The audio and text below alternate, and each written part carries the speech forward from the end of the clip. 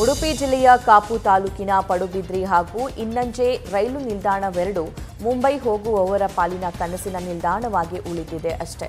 ಮುಂಬೈ ರೈಲು ನಿಲ್ದಾಣದ ಪಟ್ಟಿಯಲ್ಲಿ ಪಡುಬಿದ್ರಿ ಹಾಗೂ ಇನ್ನಂಜೆ ಇಲ್ಲದಿರುವ ಕಾರಣ ಸ್ಟಾಪ್ ನೀಡಲಾಗ್ತಾ ಇಲ್ಲ.